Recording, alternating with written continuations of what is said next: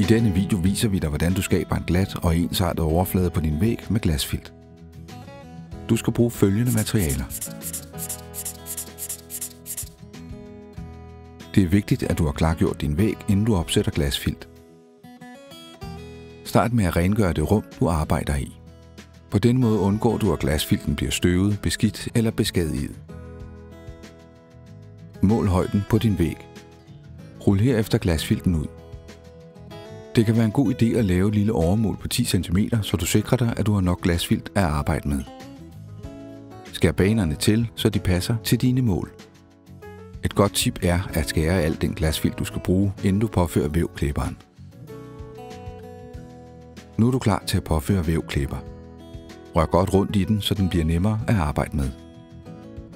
Det er altid en god idé at starte med et hjørne.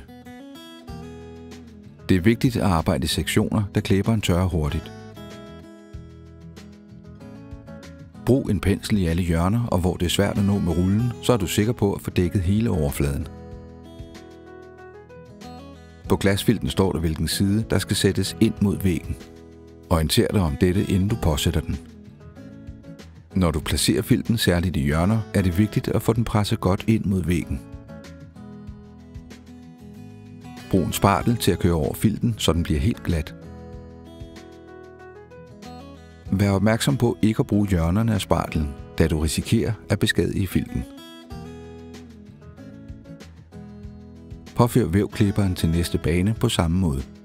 Prøv at undgå at påføre klipperen oven på filten, men sørg for at have nok, så den når helt ind til kanten. Lav et lille overlap på 4 cm på den forrige bane, når du placerer næste bane.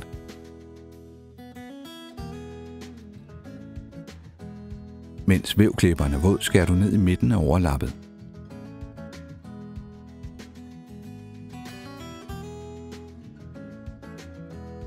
Fjern så de to strimler, der er skåret af, så banerne er helt lige op ad hinanden.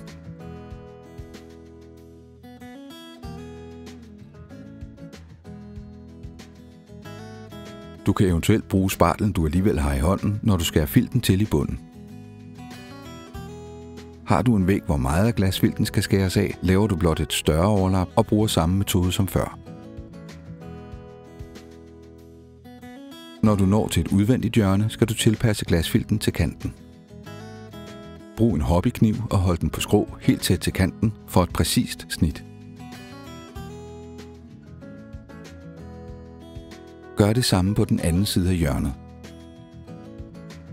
For en skarp afslutning kan der være behov for at slibe efter ved samlingerne. Vent ind til klæberen er helt tør for det bedste resultat. Med forfardåser, stikkontakter og lignende kan du bruge en pensel til at komme godt omkring med vævklæber. Bagefter påfører du glasfilten og laver hul til forfardåsen ved at skære et kryds og følge dåsens kanter.